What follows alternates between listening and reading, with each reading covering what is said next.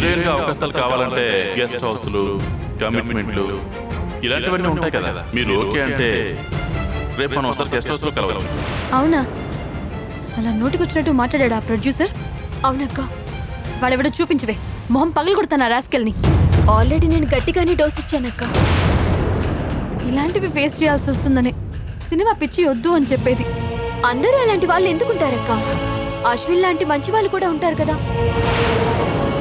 అవును ఇంతవరకు అశ్విన్ గారు రాలేదేంటి? సిద్ధుని మళ్ళీ ఒకసారి ఫోన్ చేయమని చెప్తాను.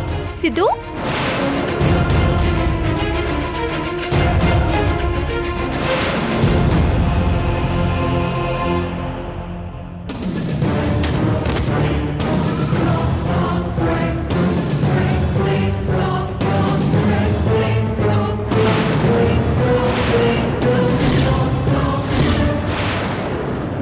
కలవడానికి షూటింగ్ దగ్గరికి వచ్చాను.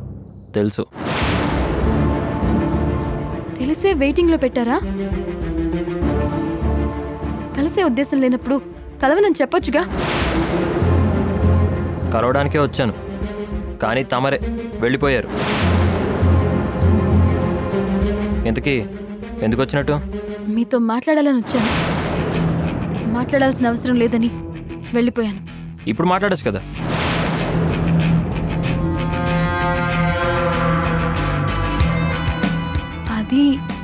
మాకి ఏంటి మాట్లాడేది? వచ్చిందే లేటుగా వచ్చావు. ఇలా మాట్లాడుతూ ఇంకా లేట్ చేస్తే ఎలా నానా నానా అశ్విన్. అందరూ నీకోసం వెయిట్ చేస్తున్నారు. పద కేక్ కట్ చేద్దాం. రా.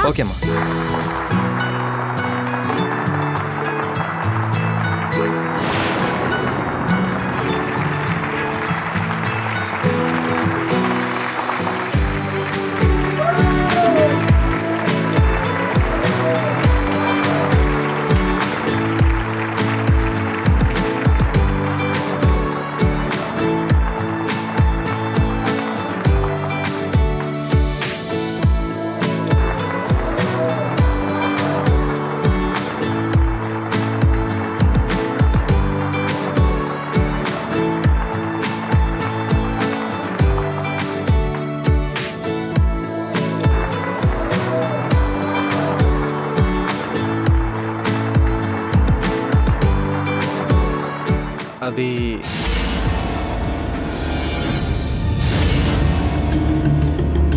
ఏంటి సిద్ధు అక్క మాట్లాడుకుంటున్నారు? శివాని ఎంగేజ్మెంట్ విషయం చెప్పేస్తాడేమో.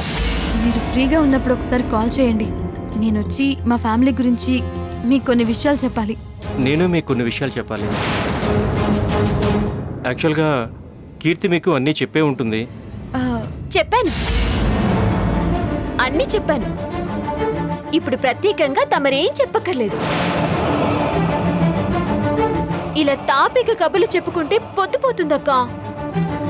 అమ్మ వాళ్ళు ఇంటి దగ్గర ఎదురు చూస్తుంటారు. వెళ్దాం పదక్క. థ్యాంక్ యూ సిద్ధార్థ్ గారు. ఎందుకండి? నా లైఫ్లో ఎప్పుడు ఇలా బర్త్డే జరుపుకోలేదు. చాలా బాగా అరేంజ్ చేశారు party. Thank you thank you very much ప్రతి సంవత్సరం మీరు ఇలాగే బర్త్డే జరుపుకుంటూ ఉంటారు. థ్యాంక్ యూ తెల్లవార్లు ఇలా థ్యాంక్స్ చెప్పుకుంటూనే కూర్చుంటారా? ఇంటికి వెళ్ళేదేమైనా ఉందా సరేనండి మేము వెళ్ళొస్తాం. ఓకే అండి. ఓకే పదండి. ఆ.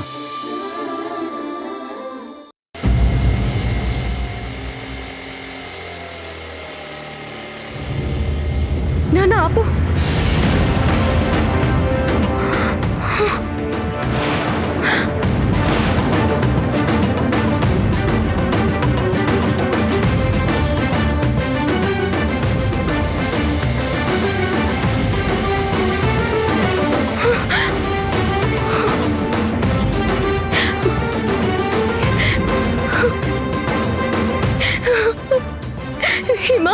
హిమా హిమా హిమా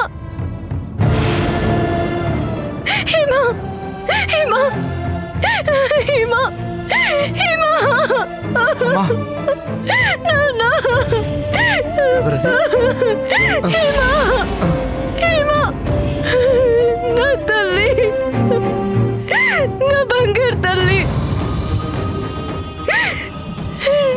చూడాలని ఎంత తప్పించిపోయావే? నా కోసం ఎంత పిచ్చిదాని అయిపోయావే ఈ- ఈ వంటలక్క ఏమిచ్చిందని? నా కోసం నీ ప్రాణాల మీదకి తెచ్చుకున్నావు. హిమా! హిమా! నా తల్లి! నీ వంట లెక్కన వచ్చాను నీ కోసం వెతుక్కుంటూ వచ్చాను. కళ్ళు తెరిచి చూడమ్మా. అమ్మా నోరు తెరిచి మాట్లాడమ్మా.